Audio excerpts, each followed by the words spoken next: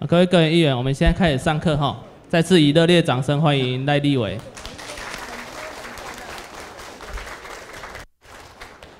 好，那个来，那继续上课哈。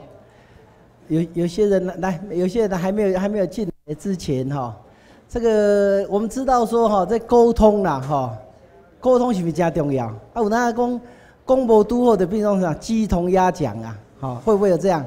好啊，你讲预算，那一开始就讲预算也是一个沟通的语言呐，哈。啊，你在讲这语言其实嘛加注意啊，哈。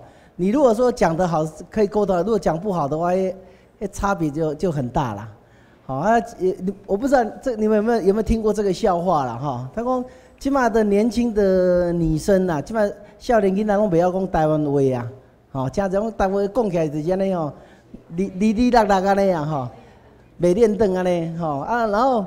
有一个笑话就是讲吼，有一台飞机呀，吼，那空中小姐吼，伊伊讲的台湾话，你们看看，他这个讲的是怎么样？他说吼，有一班飞机，他载的都是那个阿公阿婆的旅游团呐，好，啊，飞机在降落之前，通常干起都都是有广播稿，啊，广播稿的华语国国语讲起来呢，哈，各位阿公阿婆哈，这个我们的目的地已经快到了，请准备好你的行李，我们就要着陆了。啊，等一下，大家就慢慢走，我会在机门口跟大家 say 拜拜，啊，有没有问题？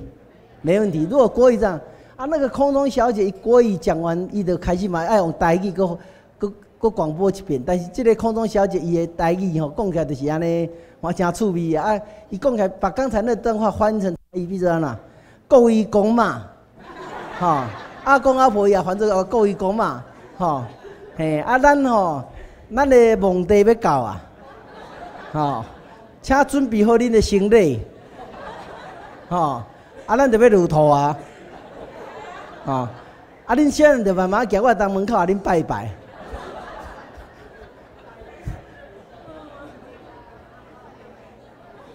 好不好笑？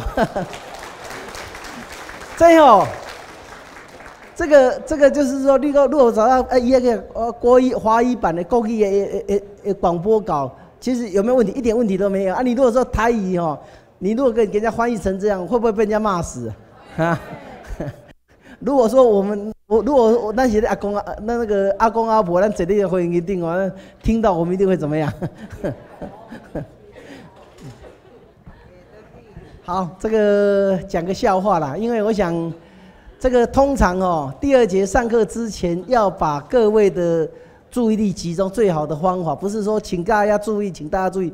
你你这样讲说大家注意，绝对没有人会注意啊！你你就跟他讲个笑话，我想这个是大家最容易注意。嗯，这个是以前哈，这这个不是我说的，这以以前有个报道说，很多在在台湾哈，这里不公司日商公司，他们每天早上，比如说八点钟，他们要花十五分钟这边什么唱。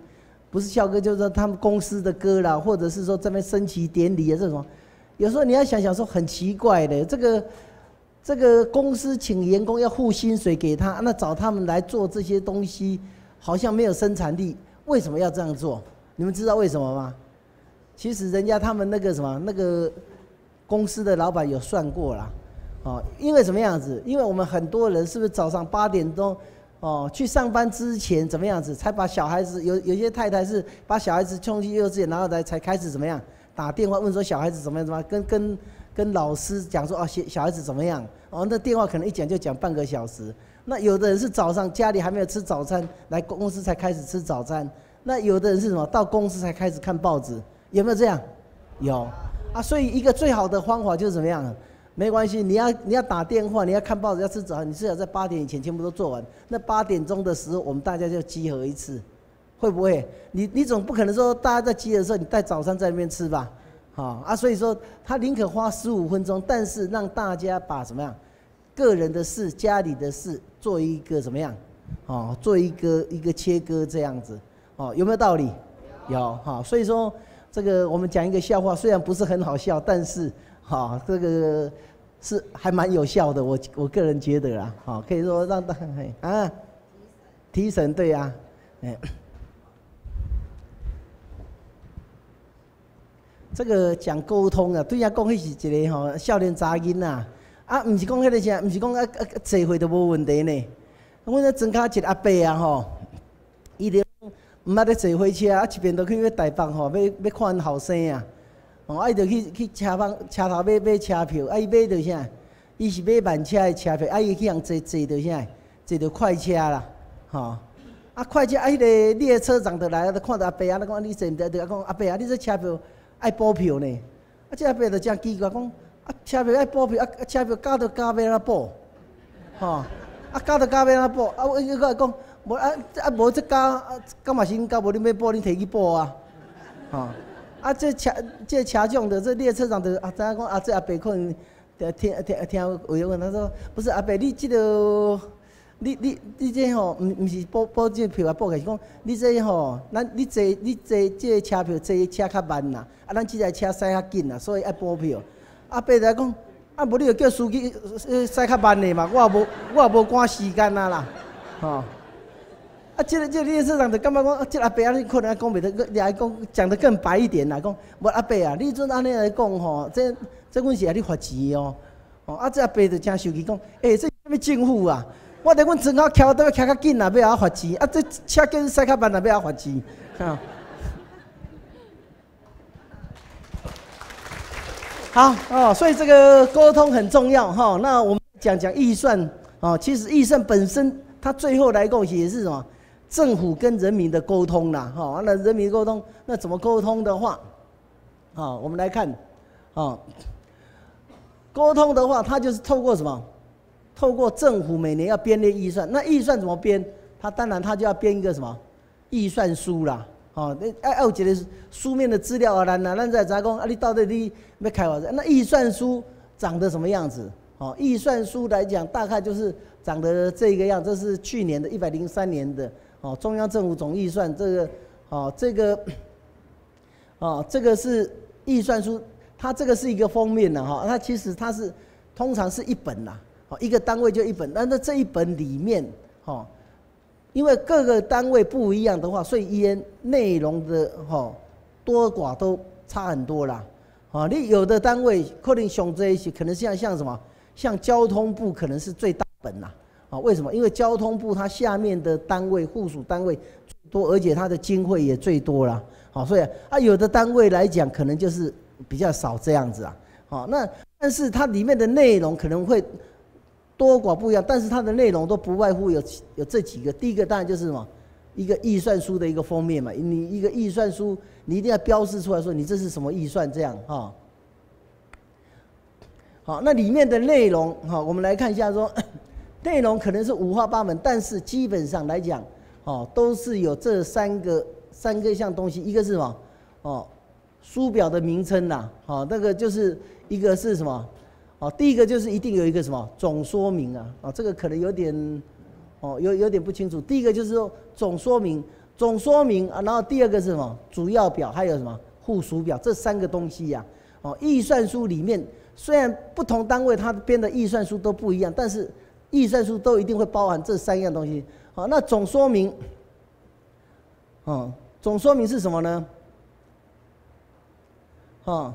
总说明的话，它每一本预算书，它一定会有一些什么，一些书面的这些文字的叙述啊。当然是讲说什么，它这个这个单位，它的执掌，它的做什么，它的施政方针，往起的什么一个背景说明啊。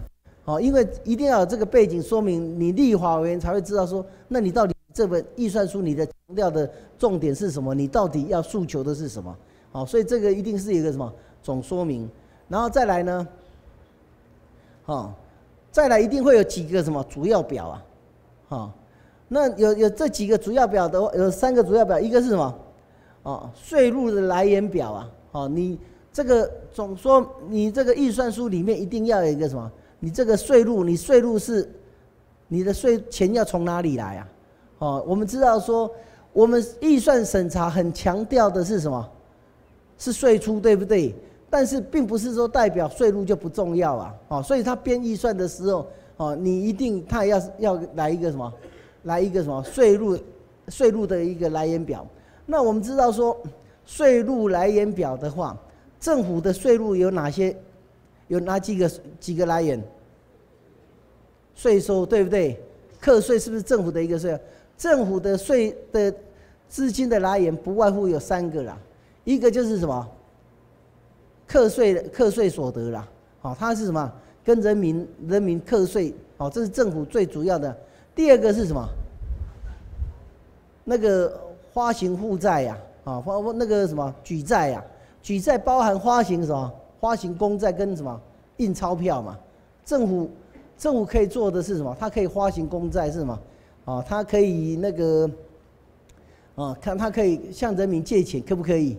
可以，所以他发行公债。这个 在中国那个时候，所谓抗战是民国二十六年到民国三十四年，对不对？啊，抗战时候那时候四川有个军阀叫做什么？叫张花魁呀。啊，不，这个有个，他都时常跟对方讲讲说，我对我对我四川的人民都很好，但是我都怎么样？我都不给他们课，都不给他们加税。那不给他们加税，那你就什么？他都什么？他的钱都哪来啊？他都给人民用什么？发行公债给人民借钱呐，啊，听说他那时候借的发行的公债借钱已经借到民国一百多年了，啊，民国二十几年的时候已经把钱这么借到，啊，所以政府一个什么，他除了课税以外，他另外一个就举债，举债有两种，一个是什么发行公债，那另外一个是什么？是印钞票嘛，哦，印钞票这个也是政府的只有的权，政府才有的权利呀，啊，我们自己可不可以印钞票？我们当然不可以呀，哈。好，那第三个呢？政府的税税入来源，第三个是什么？就变卖资产嘛，变卖国有财产嘛。好，那这三个来讲，你们认为说哪一种最好？站在人民的立场，嗯，不对，政府站在人民的立场，如果说是政府最负责任的话，是用课税的方式是最负责任的。为什么？因为如果课税的话，是谁来负担？就是当代的人，就像我们来讲，他如果给我们课税，那给我们课税来讲，我们负担来，我们会不会痛？会呀。我们会不会叫？会。因为当代人，当代人的负担啊。那你如果说是负债呢？是举债呢？是由谁来负担？由下一代的人来负担。下一代人在哪里？不知道。会不会叫？不会叫。那变卖财产呢？那是上一代的人来负担。那上一代人在不在？也不在了，反正，哎，那那单位供的这，如果政府要做了尾啊，给阿的钱开开开掉的，会怎样？哦，在在在政府换人那呢？哦，这三个来源里面来讲，哦，其实课税来讲是政府压力最大啊，但是是其实是政府是比较负责任的人，哦，所以政府来讲，一般人来讲都认为说啊，政府最好不要加税，啊啊，其实有时候政府也是讨好人民，说啊我，哦像。像这一个什么，这一次是地方地方的这个议员的选举，所以比较不会。如果像立法员选举，有些立法委员啊讲都讲讲他的政见说哦，政府不不加税。其实政府不加税来讲好不好？他不加税的话，他就是去借钱或者是去变卖财产，那个就是怎么样子？其实政府反的是喜欢不要加税的话，他他去变卖财产或者去举债来讲，一看没养没啊。好，那你你如果说是加税的话，你就要交代的很清楚，说你这个钱，啊拿了以后你要用到哪里，值不值得，有没有有没有效率？好，所以说这个税入一定会有它的主要表，一直表示什么？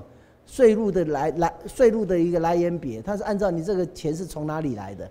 好，那我们知道说政府的税入大概是有三个三个税。好，那第一个主要来来源呃主要表示税入。好，OK，好，那第二个主要表示什么？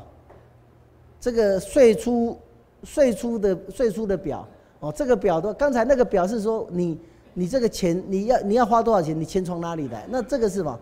哦，这个是说那你钱你花你要花到哪里？是税出。那税出的话，它又分成两，这个是先按什么正式别？是说你你钱你钱你要花到什么地方，对不对？哦，这是税出的什么正式别，就是说你这里，哦，这个可能都很模糊，可能不过没关系，这因为这只是只是个换本而已，这个不是很重要啊，哈。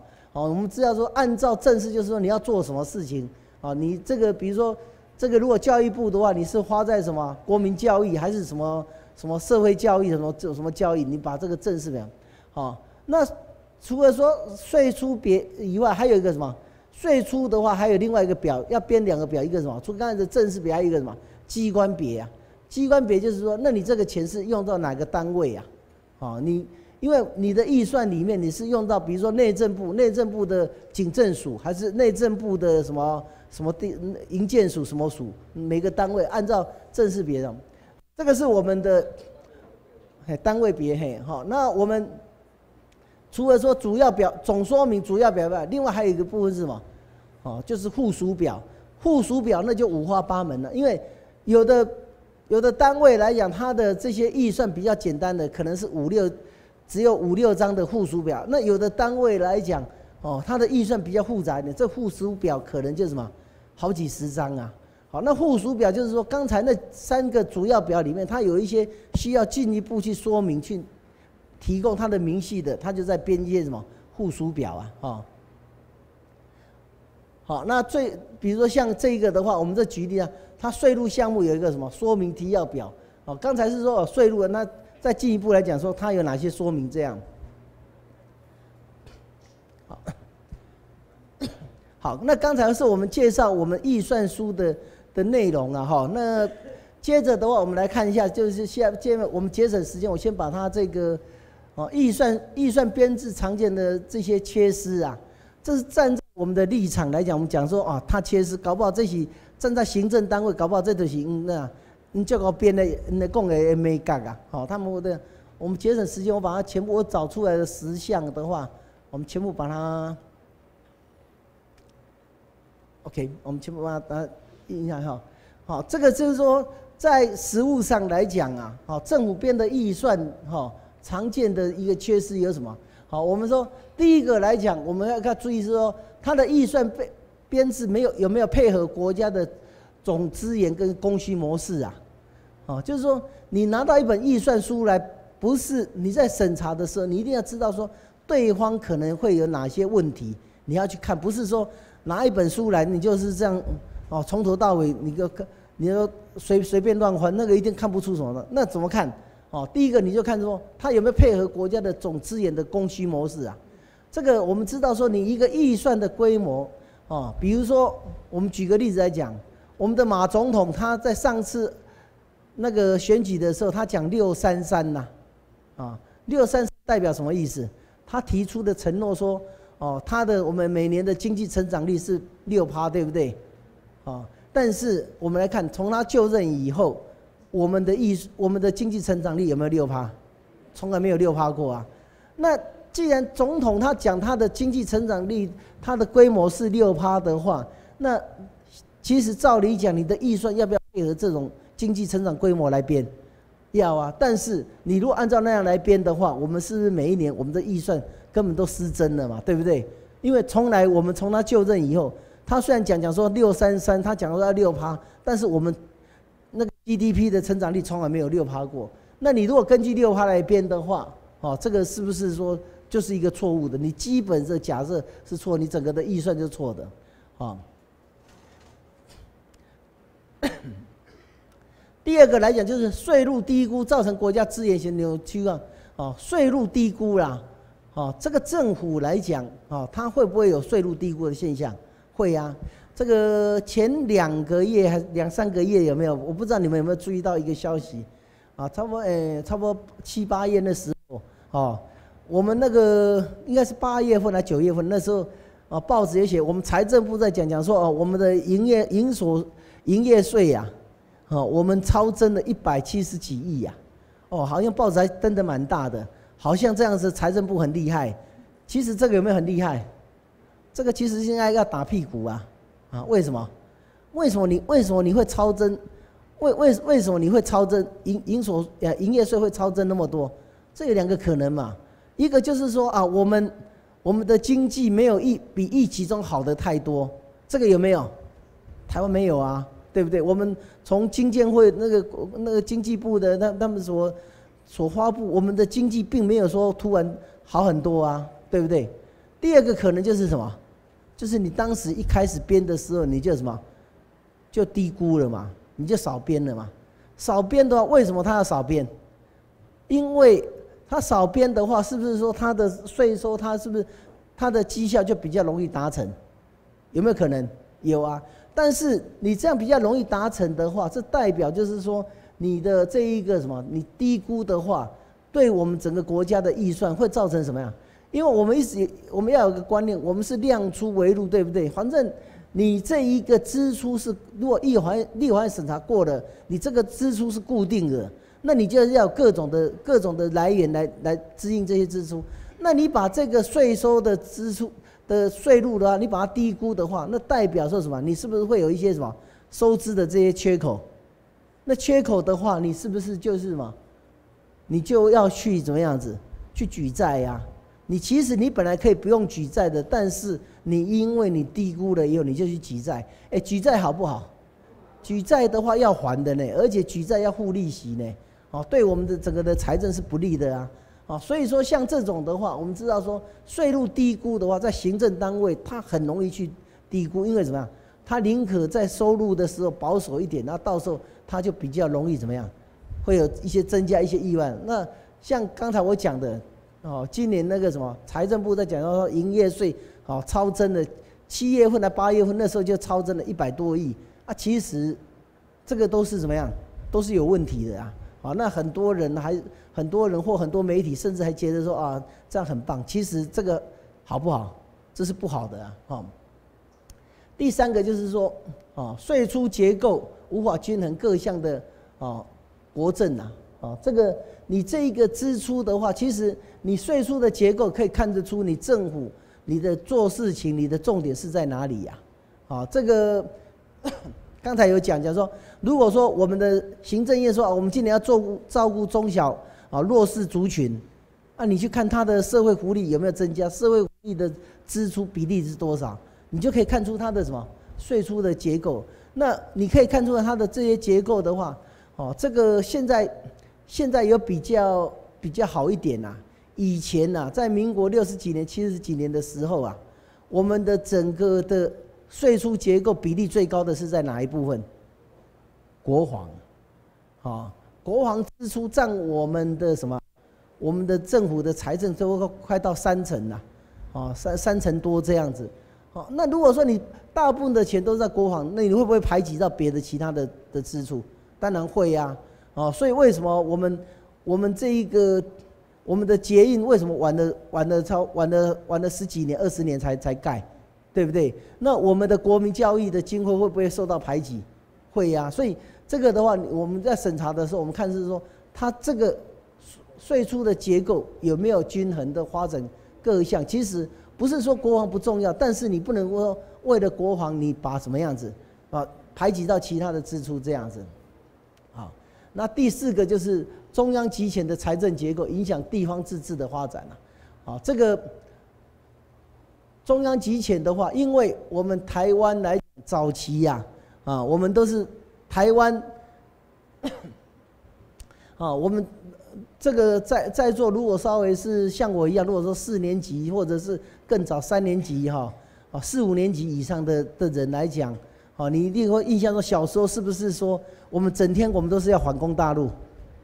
啊，是不是我们整天都在反攻大陆？所以那时候整个的政府把台湾的一个发展目标就是台湾只是个复兴基地，只是要要反攻大陆。所以在为了你整个的目标都是在反攻大陆的情形之下，所以他就一定要集中所有的财力、人力、物力嘛。那要采取集中的话，所以就会采取什么？采取的是中央集权的财务结构，所有的财政权都是在哪里？在中央政府。哦，那会影响到什么？地方自治的发展嘛。这个，这个像我们啊，像像我自己，我是彰化乡下，我们那那一个乡，那一个乡，我们那个乡下，哈，一个一个乡啊，哦，一年预算才多少？哦，这个扣掉一些以后，剩下的差不多不到十亿呀。哦，一个乡，哦，不到十亿，那。不到十亿里面，哦，你付掉的这些公里面呢，有很多是什么？那些公所的人，这些人事会付付付了以后，剩下没有多少钱。那在没有多少钱的情形之下，你你在乡里面能够做什么事？你办什么活动也没钱。你要修个水沟、铺个马路，什么都没钱呐。好，那要钱怎么办？啊，要钱就是说你就提计划，所以什么就要靠议员呐，靠什么立委去帮我们争取是怎么样？啊，那你你去拜托这些，拜托人家去向中央争取，那你要不要听中央的话？要啊，所以他就是利用这种经费怎么样？中央集权就来控制你地方，那你地方来讲，你就没有这种财政的自主性。你说你要我们我们我们这个乡我们要办什么活动也没钱，我们要大概除了那种例行性的修水沟啊什么呃路灯这些支出、水电费这些支出，要剩下几乎没有什么哦。所以说这个就是会怎么样影响地方自治啊？所以会造成什么？中央跟地方的不平衡发展呐？啊，这个像。这个中央的话有很多钱是多到什么？哦，多到多到用不完呐！啊，有些钱地方是穷穷的要死啊！好像我们这个中央的话，我们很多钱像像比如说我们哎是明年后年吧，我们不是要四大运吗？哦，那要花一百七十几亿呀！哦，啊，你想想看，有时候我们要想想，说不是说我们反对提议啊，只是说你把这个钱像这样子话。那前几年台北市办的花博花了差不多三百亿呀，啊啊，花博留下什么东西？啊，对不对？这个各位想一下，花花博留下什么东西？现在很多人在讲花花博花博，哎，只有那几天去看，好像去逛逛公园看一看的。那后来现在来讲，也什么东西都没有留下。当时为什么？如果说你花博要办在盐山车站，为什么不办到社子岛？至少你把社子岛那些马路都是什么？搞不好现在设置岛也比较发展一点，啊，这个就是说什么？我们中央的话就是有时候钱就乱花，那有的怎么地方就钱就没有，好，那现在还有一个更严重就是什么？以前以前是只有一个台北市，哦，还有一个高雄两个两个直辖市，现在已经有什么？有六个直辖市啊，好，那你现在可能会比较大的问题是什么？直辖市跟非直辖市的钱又又有得吵啊，好，都地方跟地方的不平衡啊。这个都是我们，我们来看一下，说这个就是说中央财务机构会影响，啊，那是第三个常见的这些缺失啊，啊，我们在审查的时候都是这几个地方，我们都可以，哦，我们可以去给他看呐，哈，好，那再来的第五个就是科目的编制不当，隐藏性的费用很严重啊，啊，这一个科目的编制不当的话，就是说怎么样，科目的载载用啊，啊，一般人懂不懂？一般人真的是不懂啊，哦，这个学会计的人，哦，这个有人要讲讲说，你如果问一个科学家，哦，一加一等于多少，他会怎么回答你？一加一等于一点九九，正负多少误差？听起来觉得怎么样？很精确，有没有？哦，你如果问一个哲学家，一加一等于多少，他会跟你讲一加一等于阴阳加什么？那他讲一套你听都听不懂的东西，会不会？会。那你如果一个会计人员，你问他说一加一等于多少，他会怎么样？他会眯着眼睛笑着问你说你要多少？你要多少我就给给你多少啊，对不对？一加一加一等于多少？啊，等于等于你你说一加一等于二，谁说一加一一定等于二？啊，我我每次我每次时常有时候那时候当校长，有时候有些学生啊，有些有些时候很多去。喝喜酒，人家啊，校长请上来帮我们讲几句，我都在讲讲这个例子，我都说，学会计的人来讲哈，哦，一直在想说，都都讲说一加一等于二，我说是不是一加一等于二？我说像这个结婚的时候，一个一个年轻人的，一一个男生跟一个两一对年轻人，就一个男生跟一个女生，这个他们是两个人相加，一加一是不是等于二？不是哦。一加一来讲，绝对因为结婚绝对不是只有两个年轻人的事，是两个家族的事，对不对？马上马上要多出男方的亲戚朋友，也多出女方的亲戚朋友，所以一加一一定大于二。那一加一到底等于多少？不一定，那就看他们这两个年轻人他们自己的努力呀。他们如果生一个的话，就一加一等于三；如果生两个的话，一加一等于四。那要要要等于多少？那就看他们努力的成果哦，看看他们要生几个啊。哦，他们如果说都不生的话，那真的是一加一等于二。他们如果生一个就等于三，生两个就等于四。他们如果生十个呢？现在听起来好像生十个很不可思议哈。啊，OK，那所以说这个会计来讲，你说这个科目，这个怎么用的？真的，刚才讲讲说会计，你问他一加一等于多少，他眯着眼睛笑着问你说你要多少，他就可以把你数字创造出来，是你要多少就多少。这听起来像个笑话，但是真的是这样子。因为怎么样？因为科目的话，你这一般人看不看得懂？我们看不看得懂？一般人绝对都看不懂，所以说它会造成什么？隐藏性的预算严重啊！啊，刚才我有讲讲说，以前在早期我们台湾的预算里面，啊，有一个很大很严重的问题，就是说我们为了要反攻大陆，所以我们的国防支出比例很高，对不对？然后结果就一天到晚被骂啊！所以国防部要不要改善？要要改善，他怎么改善？他要把国防部的预算降低以后，对不对？啊，他们把很多的很多的钱就乱塞呀，怎么塞？比如说，像我们一般一般的认知里面，陆海空军三军官校，这个算三军官校是要培养什么？培养国军的干部军官，这个钱是不是应该要国防部出？对不对？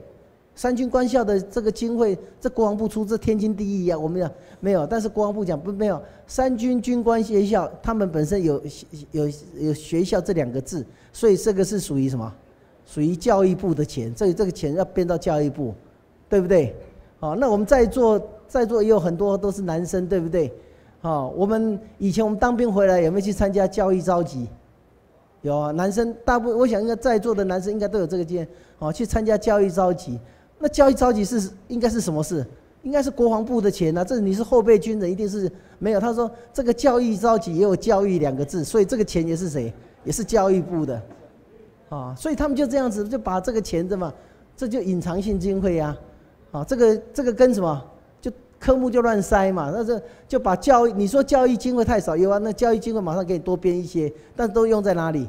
三军官校教育召集，那国防预算有没有降下来？有，但问题呢，还不是都一样哈，哦，所以说这个是隐藏性的，那个国防部后来一直被骂，有一段时间国防的预算是啊。但是这几年还是要注意啊，啊，这几年来讲，我们不晓，我我不知道说我们的我们的政府不晓是哪根筋不对啊。他说要推动什么募兵制啊，啊，你知道募兵制是很花钱呢，对不对？你说以前以前我们那个年代来讲哈，这个当兵如果说是新兵二等兵，一个月薪水多少钱？八百块啊。啊啊！你说你现在现在你要说募一个新兵八百块，有没有人要去当兵？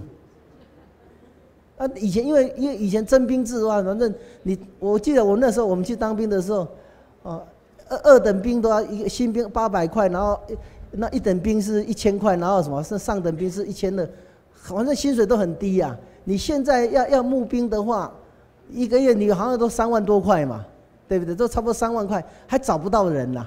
啊，你看这个这个钱的话，所以现在国防部又很缺钱呐。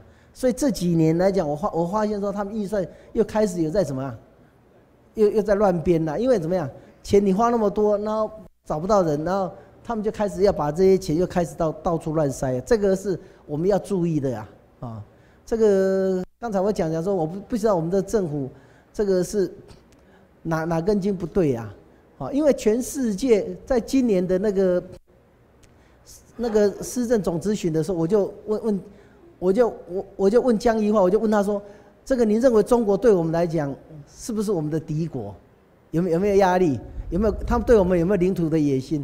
江宜桦被我问到后来，他他知道承认说有啊，他们中国是对我们是有企图心呐，啊，他他，因为他如果跟我讲说没有企图心的话，那我就讲说，我就会接接着 K 他说什么无敌国外患国恒亡，你是亡国之论。啊，他不敢啊，那就就要讲说有企图心，有企图心是不是就这样就算了？我那我就接着问他说，那既然是说我们中国对我们有这种企图心，是我们的敌国的话，有这种外力的威胁之下，全世界呀，有敌国的时候，没有人在实施征募兵制啊。你像以色列，像南韩呐，哦，他们都是征兵制啊，哪里有人在那个？哦，你一般能够说实施募兵制那种，是说你真的没有说那种对吧？啊，你说在这种情形之下，我们台湾。既然又有又有中国对我们有这个压力的话，我们为什么我们要实施募兵制啊？哦，那那讲到后来的话，哦，这个江宜桦还回答不出来，叫那个什么叫国防部长严明来说，哦，就开始跟他打嘛公，啊，说说些有的没有的啊，他说说募兵制什么一大堆的，哦，不过这个不是我们今天要讲的，所以我们在讲讲说这个科目要隐藏性，这个在实物上他们时常当他们有压力的时候，他们就会去讲，哦。那再来的话，就是检讨政府组织再造方案的预效预算成效啊，好，这个也是这几年啊，前几年行政院不是在讲组织再造方案，那组织再造方案，我们要检讨它好不好？大概有两个，一个就是说你用的人有没有减少，另外一个人用的钱有没有减少。用的人来讲，其实我们现在政府用的人有没有减少？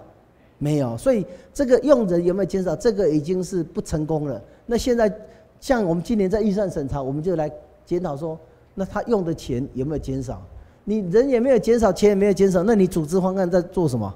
哦，对不对？所以说这个也是在今年度审查的时候，哦，也是要注意的一个啊。那再来的话就是说，哦，委委办的补助会胡乱呐，他这些钱是要广结人脉，还是说政策的论点，还是说？哦，充当门面的工具，还是说这个选举的庄脚啊？好，我们知道说政府有很多的这些补助会啦，或者是些什么很胡乱呐。好，那这些胡乱这些钱了以后，给各个这样的，这个钱是给谁用？他这个比如说给各县市的话，那县这个地方首长的话，他就怎么样？这个钱的话，我就给一些我这个自己的派系或支持我的人。哦，你去成立一个公司，你现在做什么？这个钱就平时做绑桩的利用啊。好，然后再来呢，哦，就是说钱也不不一定是不是说有做到说，哦，真的是有用到该用的地方啊。这个在上个会期，就是在今年暑假的时候，哦，八月份的时候，哦，立法院哈通过的最后一个法案是什么？是那个黄洪治水计划七百亿啊。这个这个七百亿，这个黄洪治水计划，这个不管三个，我想任何一个政党，没有人立法委，没有人敢挡他。为什么？因为这个治水钱，你如果说你把它挡下，哪哪一天真的台风来，如果发生水灾，会不会被人家骂死？人家去翻账说，哦，这个是这是民进党挡的，是台联党的，是谁谁挡的？会不会被骂？这个真的没有一个委员敢说啊，这个钱我我们就不知道。但是。这个你让他过了以后，是不是真的就是最好？不一定，还是要很注意是什么？他这个钱有没有好好用啊？因为我们这一次是什么？我们是第二期的黄洪治水这样，上一期的是什么？哦，八百亿的第一期的黄洪治水计划，有时候我我个人我看的真的是会吐血啊！啊，我们我们没有反对说，我而且我们认为说这个钱既然是黄洪治水。这个钱，这是跟人民的生命财产有关，这个一定要花，一定要做。但问题是，那么多钱的话，我们有很多的首长的话，其中有百分之十二的钱是用到哪里？他是在用到我们一般来讲，你说黄宏志，你应该去做体育房、做水坝、做什么水沟疏通或什么样子，是不是黄宏是不是应该要做这些？但是他们有很多地方来讲，他是什么？把这黄洪治水是要拿去河滨公园的美化整理，啊，这当然也不是说，我个人认为说你把这个河河堤啊边这个美化，这个这个是好事，这个我个人也不反对。但是你如果要做这个，你另外再编预算呢，你不可以把这个什么，你用什么用美化河堤来做黄洪，啊，这个这个是不是开玩笑？这个如果真的大水来的话，你说这个能够防洪吗？好，那你要想想说，为什么他们要这样子做？因为你把钱花在做这个堤防、做水沟，这个人家看不看得到？没有人看得到。但是我如果说，哦，把这个河边呐，什么这个做一个什么河边公园怎么样？哦，这个旁边我还有个立个碑，这是某某县长、某某某某市长这个整理的，看不看到那名字？看得到，那早上的话，很多阿公阿婆真的去那边早节会去那边运动的时候，哇，我们这里好漂亮，好舒服啊！啊，这是某某县长、某某市长帮我们做的，哦，他他会不会有会不会有有掌声？会，但问题是这样对不对？哦，这不对。其实有的时候我们老百姓，有的时候我们也是真的，立法委员要要努力，我们老百姓也是要。哦，有时候像这种钱的话，我们要看哦，这个这个钱的话是。有没有胡乱？事实上，他是不是在广结人脉，还是什么？钱的话，有时候我们要看一个政府的执政的话，他该做事情要，并不一定要全部都让人民，并不一定要相信我们看得到的东西。我们要去注意说，他有没有做一些是我们看不到的，这个反而更重要。好，那第八个常见的缺点就是什么？啊，考察会议的费用或者是是是必要的？好，就像目前很多的单位都有很多的这些考察费用啦，或者是会议。太过于胡乱了，啊，这个，这个我想我不要举个，对不起，我们不晓得我们在座有没有台东来的哈，这个前几年我们不是台东有个县长吗？啊，台风来的时候，他他一年不晓得说出国多少次，啊，邝丽珍对，就是他，就一个女性的县长，那是不是就真的很离谱，对不对？你县长的话，怎么整天的？所以这个有很多的话，就是把这一个考察或者太过于什么，他是不是必要，是不是合理？好，我们在审查的时候，好，你这个议会的话，就是可以看，好，那再来的话，第九个说各机关所长的什么？啊，小金库林立呀，啊，这个小金库就怎么样？他这个有一些钱是他自己的私房钱的话，啊，他就可以怎么样子比较好做事啊，啊，他可以做个人的用途或怎么样？这个各机关的有没有小金库？这个我们在审查的时候要给他注意啊。而且有的时候它是一个一非常的这个，我们知道说像台北有有一个故宫有没有？啊。故宫来讲，尤其这几年不是那个中国陆客来很多吗？去故宫的时候，大家都会买一些什么纪纪纪念品，有没有？像那个什么，像那个它有那个翠玉白菜呀，那个好像是一个好像一千块啊，一千二啊，但是它那个成本一个大概两三百块就可以买做得到吧？哦，它那个反正也是仿的，而且是假的，开模子来冲印，哦，那个其实一个的话，你看这一个利润有多少？但是这个钱呢，这个他们这个钱是由谁在卖？由他们的什么消费合作社在卖？啊，我们知道说这个消费合作社，我自己的印象，像以前我们学校一般学校的消费合作社，其实消费合作社应该只是一个便利性，不是以赚钱，不是以什么？它规模需要很大吗？不用啊，这大概就是类似一个最多是不是像我们一个 C V Eleven 这样子一个店就好了。但是你想想看，像故宫那个的话，他们是一个什么消费合作社在卖那个东西，那那的钱呐，就是他们自己的小金库啊，好，所以说类似像这种各单位各机关里面有很多啊，啊，这个都我们要注意啊，好，那再来的话，最后还有一个的话，常见的这些疏失的话，就是哦追加预算、特别预算常态化了，这个也是我们要来注意的，就是说很多单位来。讲他预算，哦，就是什么追加预算或者我们知道说特别预算或者是追加预算，一般来讲都应该都用在哪里？其实我们要编第一备金、第二备金，其实都是说要用在一些突发或者是紧急的状况，对不对？哦，比如说像以前那时候我们九二一大地震，我们我们那个事前有没有人知道会有这个大地震？不知道，但是但真的大地震一直来着，我们要不要赶快复建？要要，那马上要用钱，像这种钱来讲，我们特别预算或者是追加预算，这样合不合理？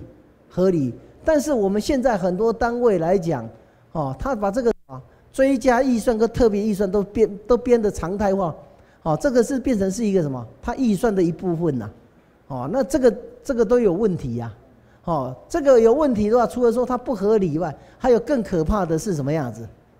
哦，它这里面来讲，现在有些单位是什么样？他这个追加预算的话，有的是什么？他们叫什么小包小标的绑大标啊？啊，这个怎么样？他我今天我编一个预算，我做这个什么？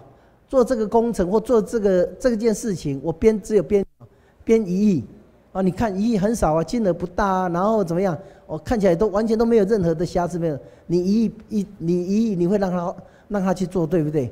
做了以后，然后他开始跟你讲讲说啊，这个做了以后，后面为了什么什么还要再追加十亿？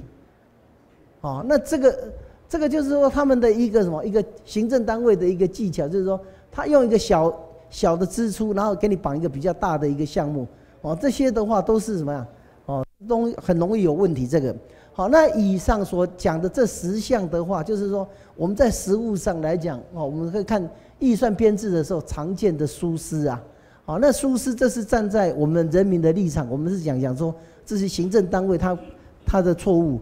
但是如果站在行政这边的话，我们都看得出来，行政单位他们搞不好这是他们个人的想，你编制也没改啊，他们可能是透过这样来做一些目的，这样，啊，好，那我们除了说了解这一个以外，那我们再接着下一单下一单元，我们要跟大家介绍的是有关哦，那预算的话，要更到更实实务上来讲，哦，立法院的预算审查的一个实务啊。好，好，那这一部分的话，我要跟各位大概报告的是，哦，这几个，第一个就是说，我那我们审查，我们根据什么？那我们审查的期间，还有我们的目的的种类，还有我们执行单位跟重点，还有查核原则，还有处理的阶段呢。我们跟大家做这这以上这几点的说明啊，啊，就是说我们的实，这也是比较实务性的介绍。好，那我们立法院 预算审查的话，哈，这个我们可能就是从从电视上看到的是说啊，立法院审查好啊，立法院开会要吵吵闹闹，其实不是。立法院来讲，它是一个很政治、很政治性的一个场域呀。啊啊！但是这个场域呢，你看他在这边吵吵闹，其实他他很多的作为的话，他还是要有他的依据呀。好，那我们预算审查这个法源依据是什么？啊，大概是这两个，一个是预算法，一个是什么？中央政府总预算审查程序，一个是它的实质的，一个是它的程序部分呐。啊。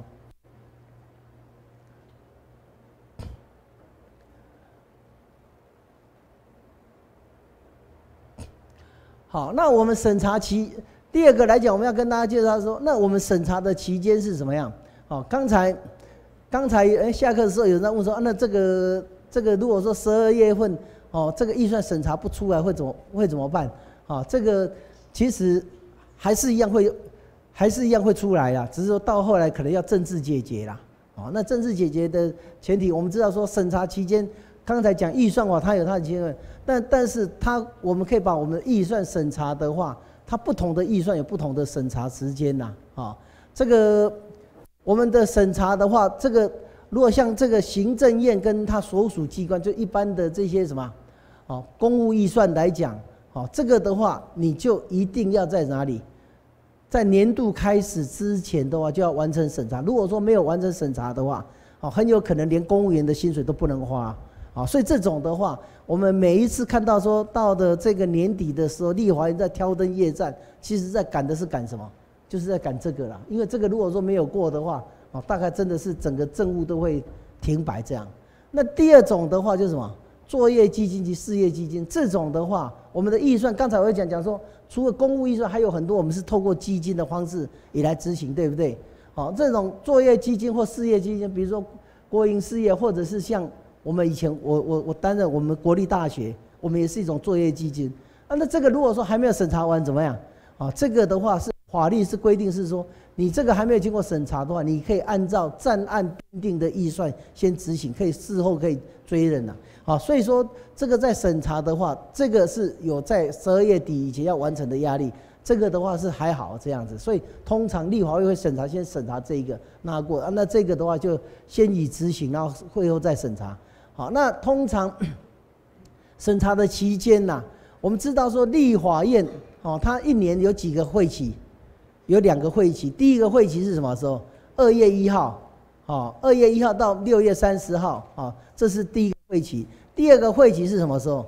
九月一号到十二月三十一号，好，这是第二个会期。那这个通常我们预算审查，我们要审查是什么？下一年度的，像我们现在是要审查哪里？民国一百零四年度，一百零四年度的预算什么时候会送来？通常都是在第二个会期，就是九月份那个会期，所以他们会在暑假超七八月的时候把那个预算送送来到立法院。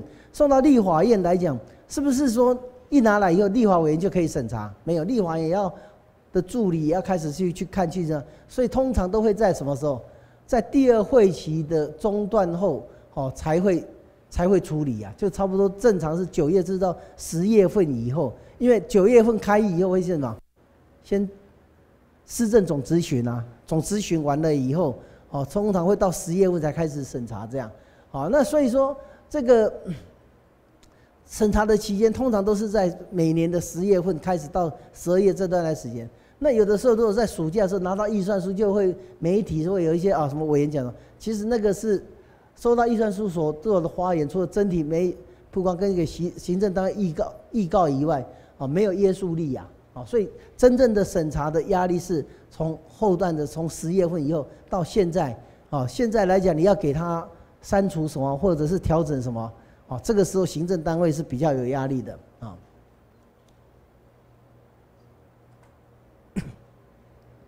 那审查的话，我们怎么审查？啊，审查大概立法委员审查大概是可以把它审查种类把它分为什么？分为两种，一种是什么？策略性的审查，一个是专业性的审查。策略性的审查是指什么？哦，以政治性的考量为主啦。啊，这这种东西来讲，策略性审查就是说，我要表达，比如说像我们台联党，我们反对马总统的亲中政策。啊，那这种的话，我我们可可不可能，我们把他陆委会的这些什么，到中国的这些什么交流会用什么，把它删除？可以啊。那这种来讲是什么？是一种政治性的一个表态。这种你问说为什么？没有为什么，就是，就是这种我们的政策性，我们就是要把你审查，或者是说你审查，我会特别对陆委会的预算特别注意。这种的话就是什么？策略性审查。那另外有一种审查什么？专业性审查。啊，专业性审查来讲就。我审查的时候，我我我会给你调，我会告诉你答案为什么这个，好，这种都是什么？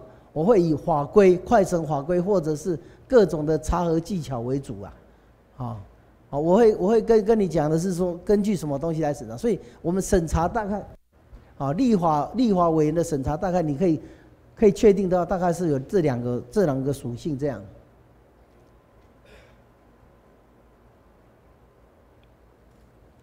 好。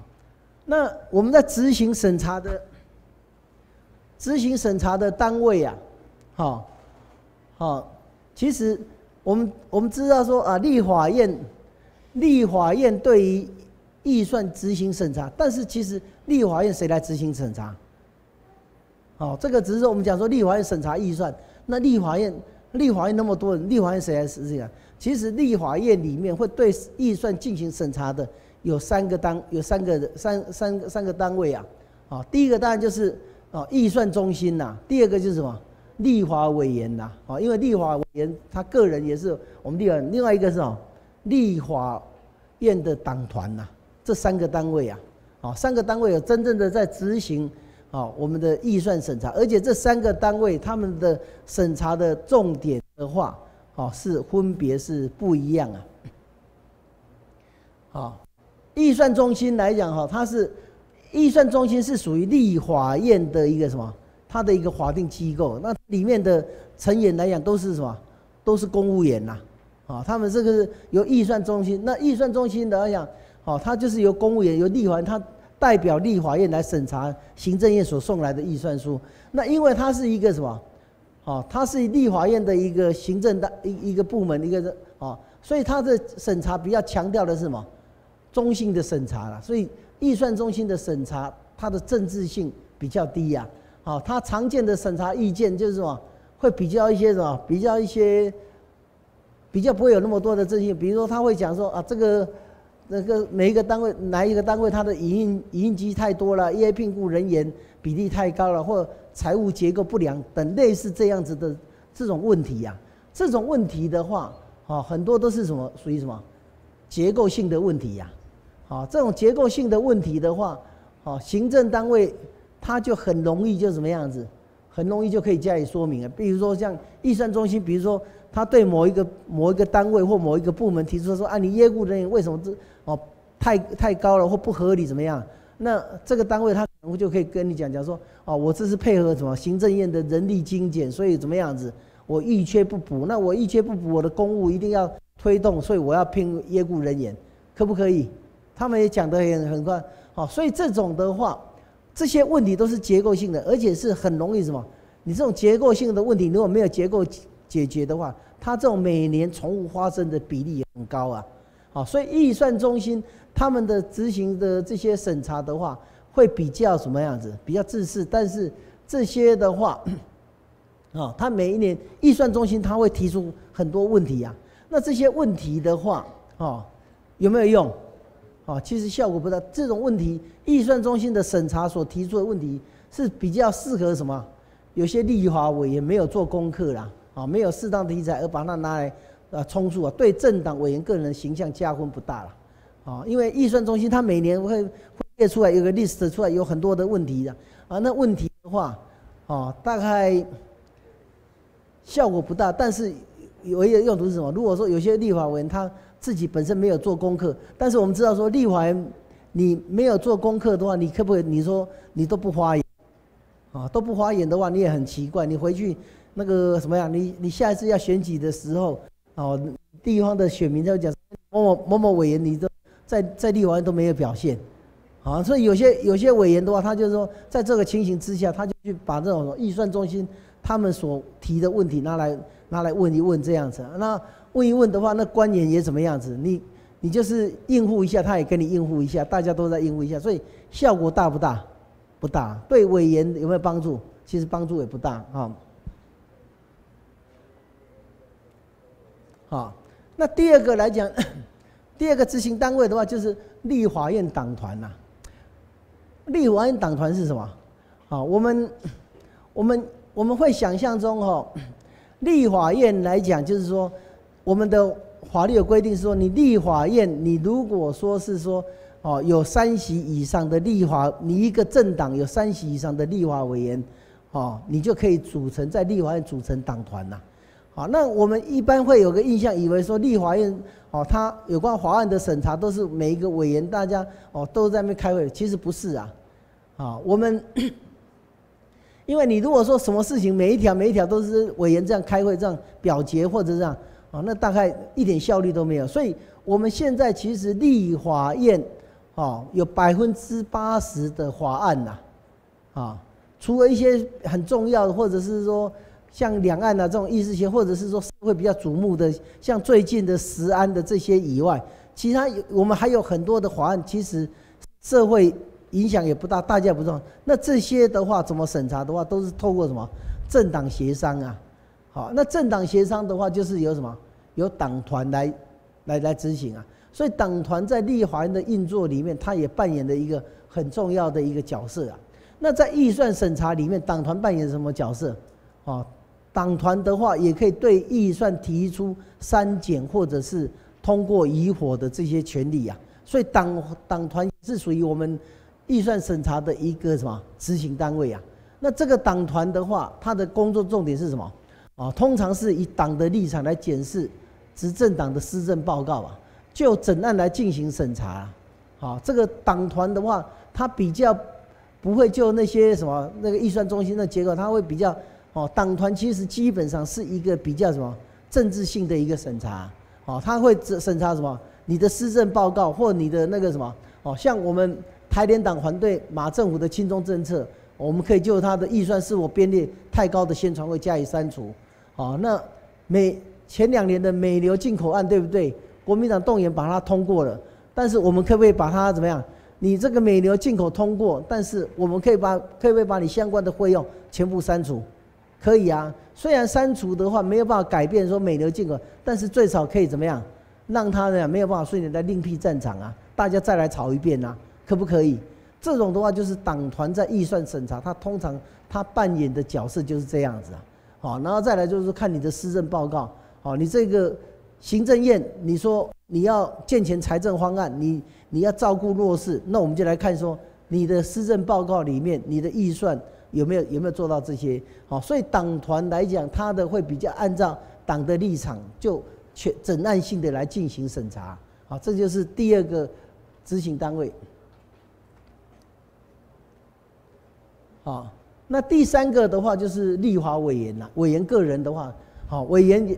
重要的是在预算审查的委员扮演了，那委员的话可以就自己关心的议题来进行细目的审查，啊，例如对 X 法、司法、环保的，啊，这个比如说像我来讲，啊，我来自于学校，啊，我但我会不会对教育的问题会不会比较关心一点？会呀，好，那再来的话，像今年预算审查，我有个很大的重点就是我们这一个什么社会上教育有个很重大的一个的议题就是什么十二年国教啊。哦，十二年国教的话，我要不要多花点时间多看一下？哦，你说你要宣导，你要做什么？那你会用，你你怎么用？对不对？那你十二年国教你要做什么事情？你有没有有？你预算有没有有没有落实？好，这个就每个委员你自己的背景，你比较有兴趣的什么？那有些如果说像那种区域选出来的立法委员，啊，比如说如果我是彰化，我如果我是彰化彰化选出来的立法委员，我要不要帮我们的？地方多争取一些预算，啊，或者是对我们地方的预算要多加以什么样支持或怎么样，啊，因为你如果没有做这样子的话，下一次你要选举的时候，选民会不会支持你？哦，就有问题哦。好，所以委员的话，他会比较就个人关心的议题来进行那个。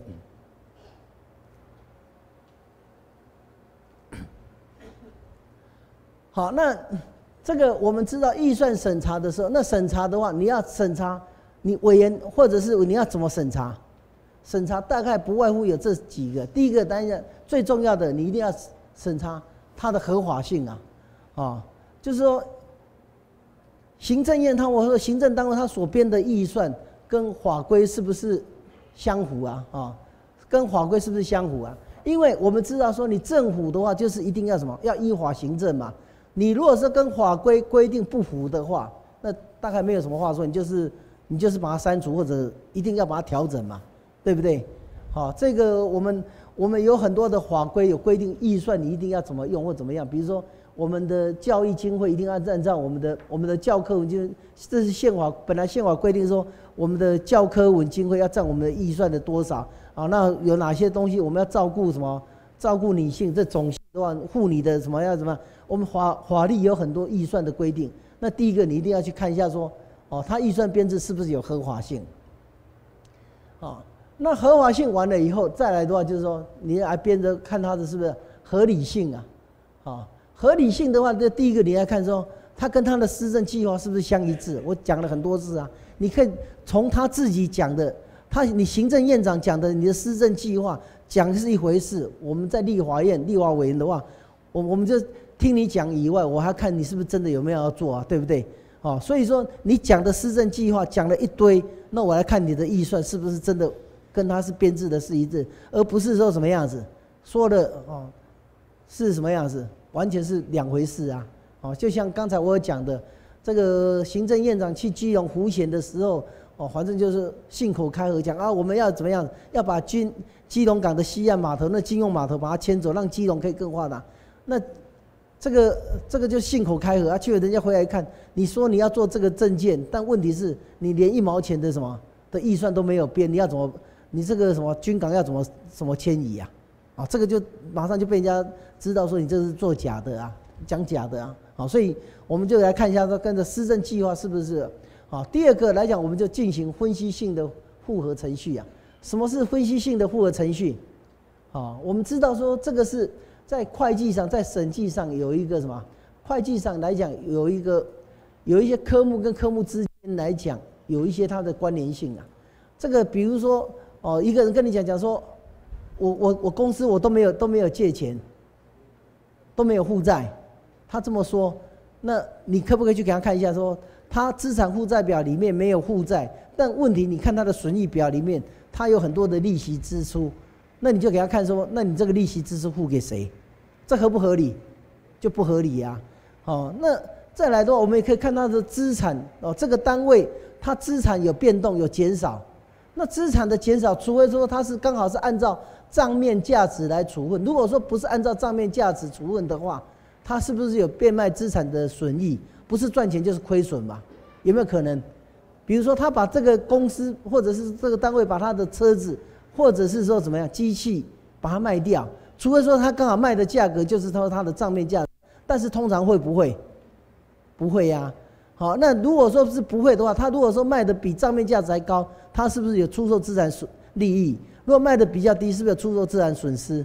那如果说我们看他的报表里面，他有这个资产的变动，但是他却没有什么，没有这种出售资产的损益的相对应的损益的情形，我们可不可以合合理的怀疑是说，他把它卖掉的这些损益的话？跑到个人去了，有没有可能？有可能。所以类似像这样子的，你科目科目去把这种这个叫做什么分析性的复合程序呀？好，那这种的话其实是非常有用。有你如果说可以用这个来给他查核的话，哦，行政单位或这些官员哦，他们有很多的造假或怎么样，你就可以把他逼出来这样。那第三个的话就是趋势分析跟历年比较是不是合理？用趋势分析呀。啊，因为我们知道说，其实有很多正式的推动都有它的延续性啊。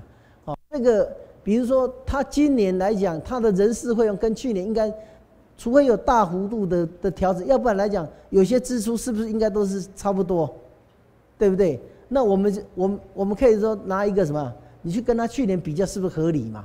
去年的人事费用是，比如说是一千万，今年是变一千五百万，有有没有问题？有问题。比如说去年来讲，哈，他们的这个业务的这个什么宣传会，哦，广告费编五百万，今年编了一千万，有没有问题？有有问题。为什么会有问题？他可能是怎么样？像今年来讲，因为明年要选什么？要选总统的啊。对不对？会不会这这个各单位开始就怎么样子，就要加强宣传，要要帮什么？帮总统选举的时候做文宣呐？有没有可能？有可能啊。所以像今年来讲，你可不可以用这种？你以前过去每一年的这一个支出的话都是多多少，但是你突然今年增加多少，你就可以去他说为什么今年有增加？好，这个都是什么趋势分析？好，那结构分析呢？我们知道说某一个科目跟某一个科目之间都有一定的比例呀，啊，这个你这个支出应该是占差不多，比如说你这个某一项的这个修缮会应该是维修会是你的固定资产的多少的比例？那你去看嘛，是不是以前都维持在百分之十，今年为什么变百分之二十、百分之三十？这中间有没有有没有问题？啊，类似这样的话，我们叫什么合理性？哦，那除了说我们查核除了注重它的合法还有合理以外，那另外还有一个是什么？啊，政治性啊！我们在查核的时候，第三个的话可以就是政治性啊。所以我我从今天上课一开始我们就讲讲说，其实预算审查或者是立法院，其实是一个非常政治的一个的一个地方啊。啊，立法院是一个非常政治性的一个，那他很多工作来讲都可以考虑到这。哦，这个政治政治性的话，比如说像反映舆情有没有？啊，像。最近来讲，我们是不是说有很多的这个什么，这个食安的问题，对不对？食安的问题的话，这个疫情这个这么样的情形之下，我们卫福部的话，它的预算我们要不要特别注意？要啊，卫生福利部，你这个到底你编了多少钱？你有没有在替人民的健康把关？好，那编的这些钱，你是不是真的有没有用在刀口上？哦，你这个。这个大家这个什么这个人民的这个是这个健康的话，你预算编的好，那钱编的话，你是不是全部都花在这个？是不是跟都是在一些什么哦出国旅游考察会啊？这个是啊我们政治性的考量，我们就会什么从疫情这个我们也会来重点。好，第二个来讲就是政党的立场啊，啊这个执政党有执政党的立场，那反对党在野党有在野党的立场，哦这个不同的。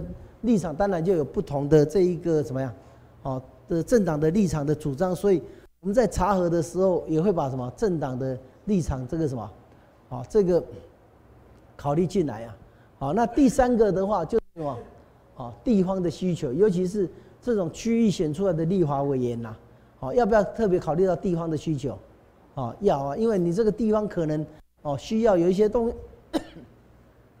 有一些特别的特别的因素，当然。你立法委员就可以考虑到地方的需求，你也可以来进行审查，啊，这个，好，那当然第四个就是个人的需求嘛，啊，你因为不可否认的话，每一个每一个每一个立法委员他的背景一定是不一样嘛，所以他能够发挥或者是说他需要表现的地方也都不一样嘛，啊，你说像我来讲，啊，我来自于教育界，我当大学校长，我在预算审查的时候。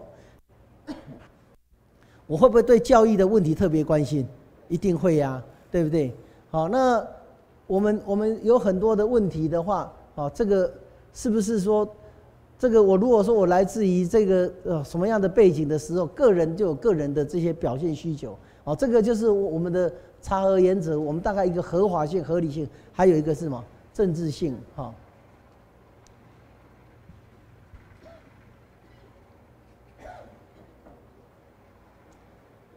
好，那我们接着再来看一下，他说预算处理的它的处理阶段呐，哈，其实预算案也是一个法案呐。那我们知道说立法院的法案通常是需要经过所谓的什么三读会呀，啊，三读会来讲哈，那这个各个立法院立法委员在这个一读会的时候啊，哦，这个立法委员应该要提出足够的预算案呐，好，来凸显这个。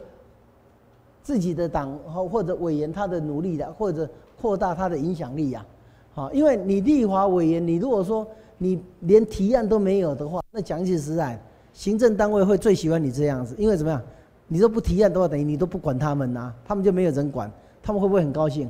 会很高兴，但是他们会很高兴，但是相对来讲，你立法委员他们会不会重视你？就比较不会呀。而且人民会怎么来看你？你这个立法委员到底懂不懂，或者是认不认真？好，所以说你一定也要提到说有一定量的什么的一个预算案呐。啊，你因为你只要有认真看的话，总是会有一些，但是也要注意啊，啊。不可以提案，不可以太过于胡乱呐，啊，这个太过于胡乱的话，以前哦有一个立法文，他一次提了一千多个案子啊，啊，那被操作就是什么呀？他是要跟行政单位，因为说在的立法委员有些也是真的是良莠不齐呀，啊，当然立法委员他预算审查，其实这个是立法委员的一个什么一个权利啊，他他他就是说反正都给你，那你行政单位就开始来怎么来跟他谈条件呐？啊，那这个其实这个就立法员这个也会出事啊，也也不好啊。这个这个以前我在当校长的时候，我想就讲个例子啊，哈，这个这是真的的例子。我在当校长的时候，那时候有个立法委员呐，哦，他他他不是他自己，但是他是啊，透过他的助理呀，哦，就发函给哦全国每一个国立大学呀。啊，然后就讲讲说啊，反正你的预算那什么都要要要冻结，要删除多少？啊，那每一个校长接到立法院这样，会不会很紧张？会呀。通常校长的动作反应应该怎么？一定可不可以说就不理他？当然不可以啊，一定怎么怎怎么敢不理立法委员的的的意见？一定最少会叫总务长或叫会计主任哦去跟他啊协商一下啊是什么问题，请向他请教一下。那我记得那时候我们会计主任呢跟我们总长去了以后。哦，然后他这个立华委，反正他们就跟他助理就一个扮黑脸，一个扮白脸呐。啊，那他的助理就是把你们你你学校找来，那立华委跟你见面就开始哦，就他不是找你，他就开始赞美哦，没有你们你们学校这个什么办学绩效良好怎么样？然后他开始就帮你骂教育部啊，教育部对你们太亏待了，哦，听起来是不是很窝心？好不好？很好。然后接着呢，他讲讲说没关系，我帮你们出去，我帮你们什么？教育部教育部有一笔预算，我帮你们争取，然后计划他也帮你写，然后他教育部沟通，他也帮你去沟通，然后就什么这个预算他就帮你争取下来，然后争取下来的金额有的一千万两千万，反正多少不不等这样，然后呢，有些校长像我来讲，我是知我大概知道说对这个委员，我知道说他的风评，我知道啊，有些校长如果说跟立法院比较没有接触的话。哦，光看到这样，听到这样的被这样的对待，会不会很感激呀？哦，这个委员委员怎么对他们那么好，还帮他们，他什么事情都不用做，就帮他争取预算，哦，然后就配合他怎么样子啊，把这个钱争取下来，争取下来，然后接着呢，他就要求说，比如说你说这个灯管要帮你节灯，要换 LED 灯，那厂商是要用他的，然后呢，这个一千万的东西，搞不好如果说我们自己去换，搞不好两百万、三百万，哦，那他就是一千万啊。那你真的给他想，那这个学校是变成他的洗钱单位啊？有没有？是有这样的立法委员呐？哦，这个就是说，他就是利用这种预算的时候来做这种事啊。其实这样好不好？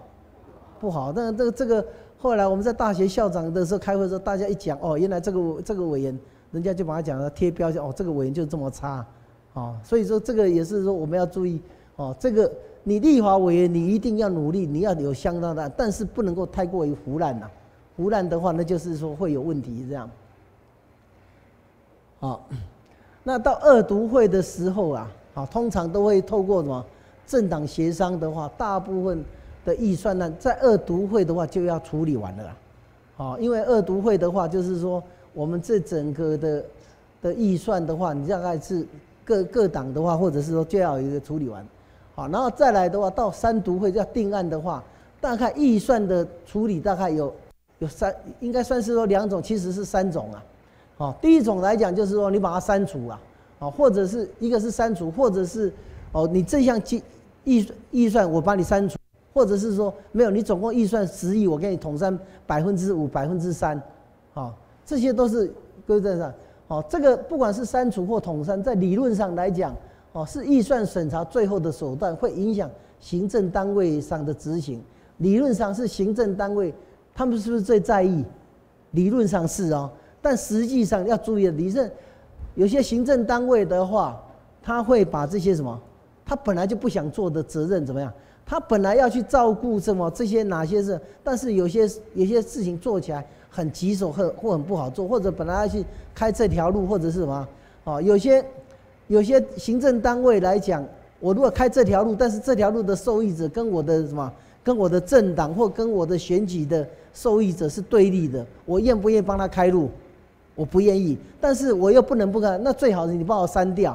然后如果说人民在骂的时候，他就可以推说，哦，这个预算被立法委员删掉，被立法院删掉，哦，这个是要注意的，就是说你有些立法院想说啊，我就把你删掉，你会最怕。其实有的时候，其实你有些行政单位是会利用你把它删除，他推卸他的责任呐，啊，或者是说，那你说好，那我就不要把你删除，我帮你统删，比如说统删百分之十、百分之二十，啊，那统删的话会稍弱预算控制到。但是也会甚至会给怎样？你把它删除了，你要注意到，比如说你这个某一个单位，你给他统删百分之十，但是他回去他不是平均每个单位的，他会怎么样子？每一个首长他可能也会对有些东西，有些人是他比较喜欢的部署，有些是他比较喜欢的，他就把这个立完统删的全部都给谁？给塞给他不喜欢的，有没有可能这样？有，所以说类似这种的话，就是说我们在执行删除统删的时候。哦，要注意这些，啊，也有可能是变成给机长所长调整他耗务单位的预算空间呐。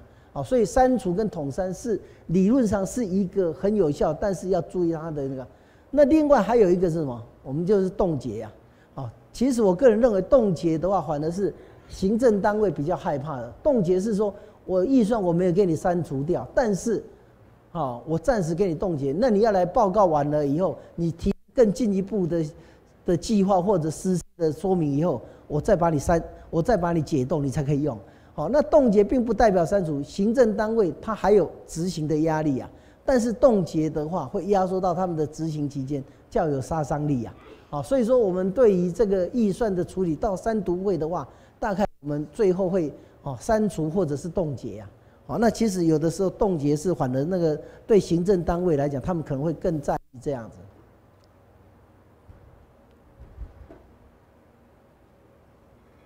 OK，好，这个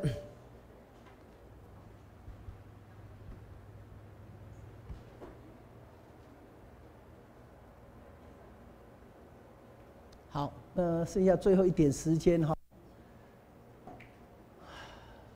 这个讲到我们今天最最后一点时间来讲哈，这个是我们预算呐，哈，这个。预算来讲，哦，理性预算是呃天方夜谭嘛，哈，这个很多人都会讲讲说啊，我们这个预算应该回归专业要理性，但是真的有可能吗？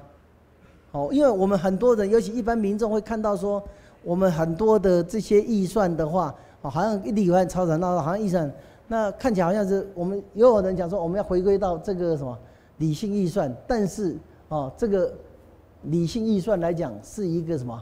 是一个天方夜谭，这个。本本来时间如果有的话，哦，我本来是打老师是打算开完说我们大家来来讨论说我们有没有办法让我们的预算更好一点，哦，这但是这以后讨论下来可能没完没了，但是可以回去你们自己做一个思考，啊，第二个来讲就是说见证预算的迷失啊，啊，我们知道说预算每年都重复都花那么多的人力物力。啊，但是其实预算里面有很多，因为有很多的公务的执行，它是有延续性，而且每年是重复性的。我们有没有可能是说，只有就那个什么有新增或变动的部分来审查？这个也是一个预算的新的意思啊。但是这个也有人很多认为说，这只是个迷失啊。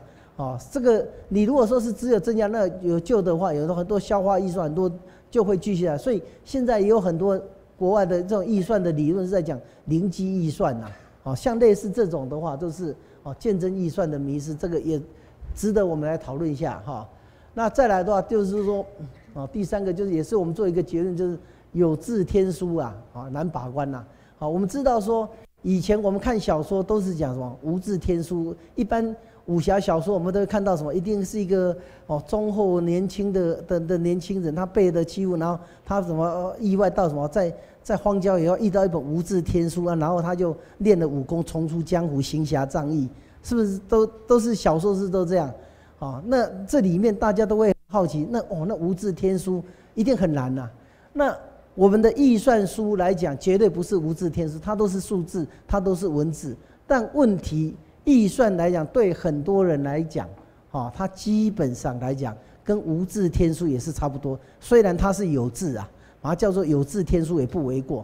但是很多人来讲，啊，也是把它真的是很难啊，这个很清楚的把它理清楚了。啊，所以说像今天来这边上课啊，啊，我觉得是说。我很佩服各位啊，我们可以用很短的时间，两三个小时，好，我们大家来讨论这个这么枯燥，然后这么专业、这讲起实在的，哦，这个课题真的是各位真的是不简单。那我我个人更佩服我自己的勇气呀，能够想，能够想要利用这么短的时间呐，跟各位介绍说这种预算的这些审查的这些观念呐，哦，因为这个观念来讲。因为我不知道各位，甚至我在猜想，我们各位里面很多人来讲，甚至是基本上啊，连预算的基本的概念，说不定，因为这不不是一般人，不像是说我们开车或什么，每个人都都很多人，我相信说我们在座很多人，说不定以前从来没有接触过这个话题呀。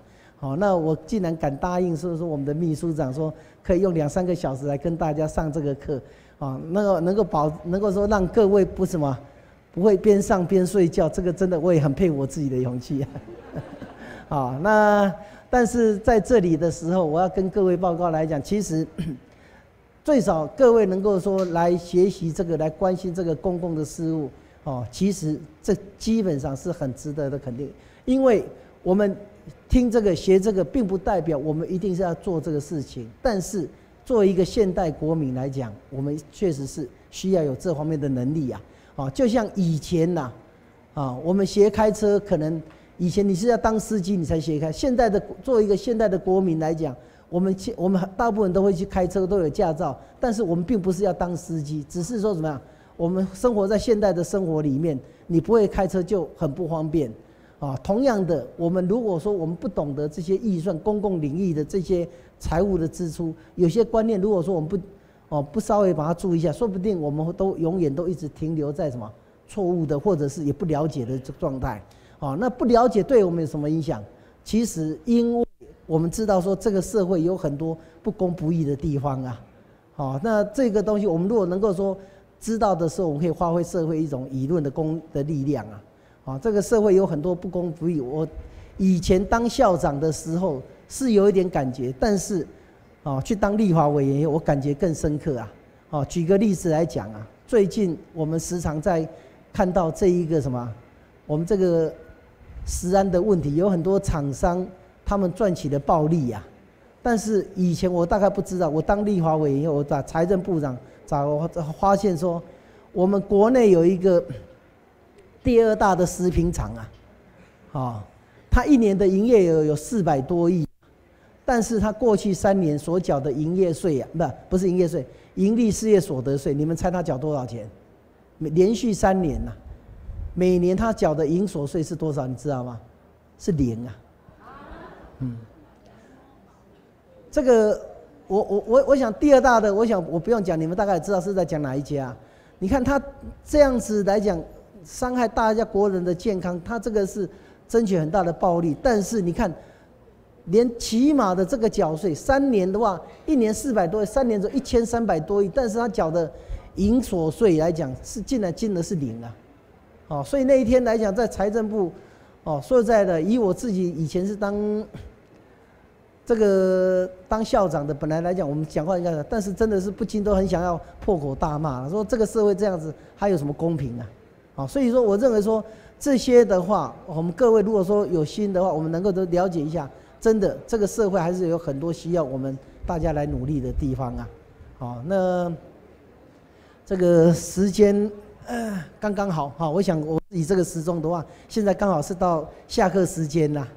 好，这个很谢谢大家。好，我们今天上课就到这里，谢谢。我们再次以热烈的掌声，谢谢赖正昌、赖立伟啊，带来精彩的演讲啊，谢谢。我们下课休息二十分钟，好，休息二十分钟。